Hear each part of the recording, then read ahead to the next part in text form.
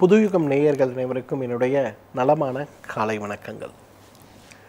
இனியவை இன்று அப்படிங்கிற இந்த நிகழ்ச்சியில் மீண்டும் உங்கள் அனைவரையும் சந்திப்பதில் எனக்கு மிகப்பெரிய மகிழ்ச்சி. இன்றைக்கு கோடைக்காலம் வரும்போது நம்ம அனைவருக்குமே எது நினைவில் வருகிறதோ இல்லையோ இந்த சிறுநீரக கற்களும் சிறுநீர் கழிக்கும் போது ஏற்படுகின்ற எரிச்சல்களும் வலிகளும் மிகப்பெரிய அளவில் நம்மை பயமுறுத்துவதாக இருக்கிறத பார்க்குறோம். இப்போ நம்ம கடுமையான கோடையோட விளிம்பில் தான் இருக்கும். சென்னையெல்லாம் பார்த்தீங்கன்னா இன்றைக்கு கிட்டத்தட்ட ஒரு அடுப்பில் உட்கார்ந்திருந்தால் எவ்வளவு சூடு இருக்குமோ அந்த அளவுக்கு கடுமையான சூடு இருக்கிறத நம்ம பார்க்க முடிகிறது. ஒரு காலத்தெல்லாம் பார்த்தீங்கன்னா கோடை விடுமுறை ஏற்படும் போது எல்லாரும் குடும்பத்தோடு உறவினர்களோட வீட்டுக்கு போயிட்டு வருவதை நம்ம பார்க்க முடியும் இல்லைங்களா? அந்த மாதிரி ஒவ்வொரு கோடை காலத்திலும் சிறுநீரக கற்களுக்காக அறுவை சிகிச்சைக்கு செல்லுகின்ற நிறைய பேரை நான் பார்த்துருக்கிறேன். பெரிய ஃபைலோடு வருவாங்க. பார்த்தோன்னா ஏப்ரல் மாதம் மே மாதம் ஜூன் மாதம் இந்த மூன்று மாதத்தில் ஏதாவது ஒரு மாதத்தில் நேரடியாக அல்லது மறைமுக அறுவை சிகிச்சைக்கு சென்று சிறுநீரக கற்கள் வருடம் வருடம் எடுக்கின்ற நிறைய பேரை நாம் பார்க்கிறோம் சிறுநீரக கற்கள் இது ஏன் ஏற்படுகிறது? இன்றைக்கு நாம் குடிக்கக்கூடிய தண்ணீருடைய அளவு குறைந்து போகும்போது உடலுக்கு தேவையான தாது உப்புக்களுடைய அளவு உடலுக்கு தேவையான அளவை மீறி நாம் சாப்பிடுகின்ற ஒரு வழக்கத்தை வைத்து கொள்ளும்போது அது உடலிலிருந்து முழுமையாக வெளியேற்ற முடா முடியாமல் உடல் சிரமப்படும் போது சாப்பிடுகின்ற உணவு இரவு தூக்கம் மது அருந்தக்கூடிய பழக்கம் வாரத்தில் ஐந்து ஆறு நாட்கள் வெறும் அசைவ உணவுகளை சாப்பிடக்கூடிய வழக்கம் இது எல்லாமே மிகப்பெரிய அளவில் நமக்கு சிரமத்தை உண்டாக்கி விடுவதை நாம் பார்க்கிறோம். இன்றைக்கு மிகப்பெரிய அளவில் இது சம்பந்தப்பட்ட பிரச்சனையை நாம் நீக்க வேண்டும் அப்படின்னு வரும்போது ஒரு ஆரோக்கியமான வாழ்க்கை முறை அப்படிங்கிறது நம்ம அனைவருக்குமே தேவையாக இருக்கிறத பார்க்குறோம். இன்றைக்கு சென்னை மாதிரி குறிப்பாக நம்ம தமிழகம் மாதிரி இருக்கக்கூடிய ஒரு பூமியில் குறைந்தது இன்றைக்கு ஒரு மூன்று லிட்டராவது தண்ணீர் குடிக்கக்கூடிய ஒரு பழக்கத்தை நாம் ஏற்படுத்தி கொள்ள வேண்டும். இன்றைக்கி நிறைய பேர் பார்த்திங்கன்னா அரை லிட்டர் ஒரு லிட்டருக்கு மேலே தண்ணீர் குடிக்கக்கூடிய வழக்கமே இல்லாமல் இருக்கிறத பார்க்குறோம். நிறைய பேருக்கு இன்றைக்கு இருக்கக்கூடிய மிகப்பெரிய சவால் என்ன தெரியுமா? இன்றைக்கி நான் ஏர் கண்டிஷன் ரூமில் இருக்கேன் சார் என்னோடய ஆஃபீஸ் ஃபுல்லாக ஏசி பண்ணியிருக்காங்க. அதனால் எனக்கு வந்து தண்ணி குடிக்கக்கூடிய எண்ணமே இல்லாமல் இருக்குது காலை உணவு சாப்பிடும்போது நான் ஒரு அரை லிட்டர் தண்ணி குடிக்கிறேன். மதிய உணவுக்கு கொஞ்சம் இரவு உணவுக்கு கொஞ்சம். அவ்வளோதான் சார் நான் சாப்பிட்றேன். எனக்கு தண்ணீர் வந்து குடிக்கக்கூடிய பழக்கமே இல்லாத ஒரு சூழல் ஆகிவிட்டது அப்படின்னு நிறைய பேர் வருத்தப்படுவதை நாம் பார்க்கிறோம். பழக்கம் இருக்கிறதோ இல்லையோ இன்றைக்கு குறைந்தது ஒரு மூன்று லிட்டர் அளவு தண்ணீர் நாம் குடிக்காமல் போகும்போது உடல் வளர்சிதை மாற்றத்தின் போது ஏற்படுத்துகின்ற கழிவுகள்.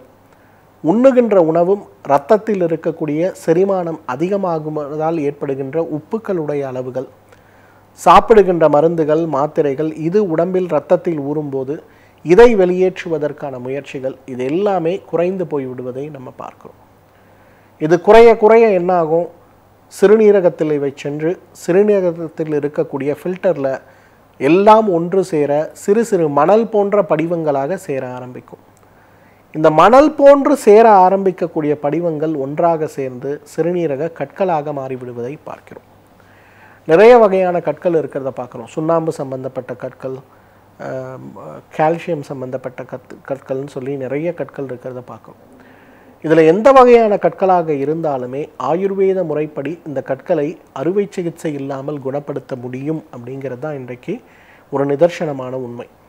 இன்றைக்கு இன்னொரு முக்கியமான விஷயம் என்னன்னு பார்த்தீங்கன்னா நம்ம அனைவருக்குமே தினசரி கற்கள் உருவாகி வெளியில் சென்று கொண்டிருப்பது ஒரு இயற்கை நிகழ்வும் கூடத்தான் ஆனால் இது எப்போ வந்து ஒரு குறிப்பிட்ட அளவுக்கு மேலே போகிறதோ எப்பொழுது இது நேரடியாகவோ மறைமுகமாகவோ சிறுநீரகத்தில் உருவாகி நமக்கு சிறுநீர் கழிக்கும் போது கடுமையான எரிச்சலையோ வலியையோ தொற்றையோ ஏற்படுத்துகிறதோ அப்போ தான் நம்ம மருத்துவமனைக்கு சென்று ஒரு பரிசோதனை செய்து கொள்கிறோமே தவிர மற்றபடி இந்த கற்கள் பார்த்திங்கன்னா அடிக்கடி உருவாகிறதும் மணல் போன்ற கற்கள் உருவாகிறதும் இந்த கற்கள் உடலை விட்டு வெளியே போவதுமாக மீண்டும் மீண்டும் இருப்பதையும் நம்ம பார்க்க முடியும். ஸோ இன்றைக்கு கற்கள் அப்படிங்கிறது உணவின் வாழ்வியல் முறை உறக்கமின்மை மற்றும் இன்றைக்கு தண்ணீர் குடிக்கக்கூடிய அளவு குறைவாக இருப்பதால் சிறுநீர் கழிக்கின்ற பழக்கம் அப்படிங்கிறதையும் நம்ம முறையாக வச்சுக்கணும். இன்றைக்கி நிறைய பேரை நான் பார்க்குறேன். ஆண்களாகட்டும் பெண்களாகட்டும் குறிப்பாக பெண் குழந்தைகள். இன்றைக்கு பள்ளிக்கூடத்திற்கு கல்லூரிக்கு செல்லக்கூடிய பெண் குழந்தைகளில் நூற்றில் குறைந்தது அறுபது பேர் பார்த்தீங்கன்னா அவர்கள் பள்ளிகளில் கல்லூரிகளில் இருக்கக்கூடிய அந்த டாய்லெட்ஸை யூஸ் பண்ணுறதை விரும்புறதே கிடையாது.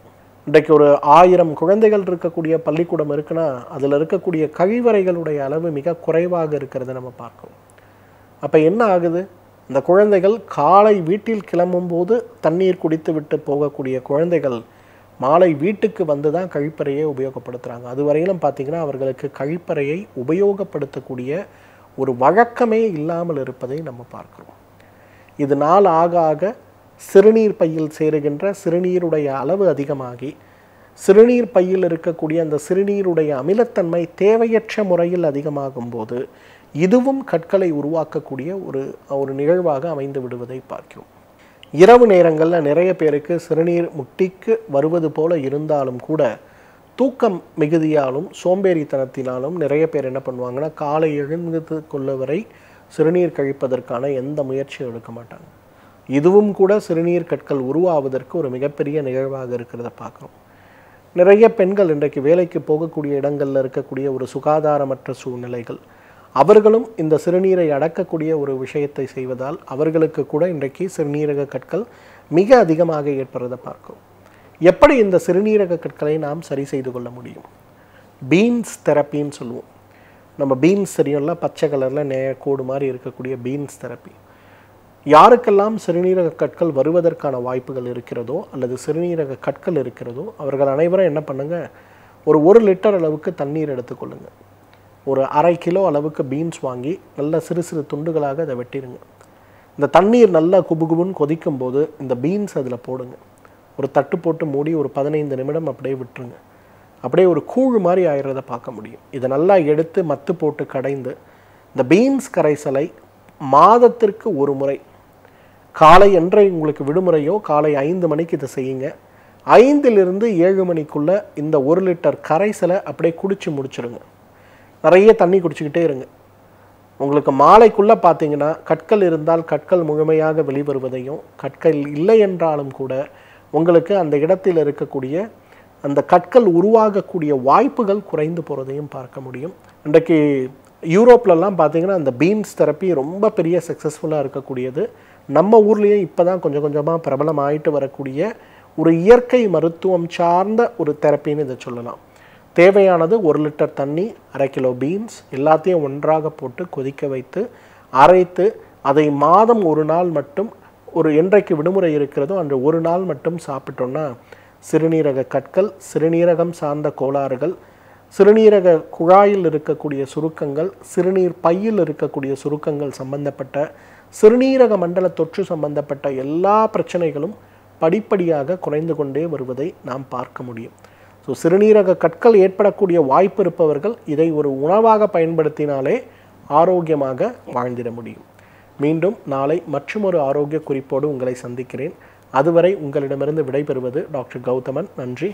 வணக்கம்.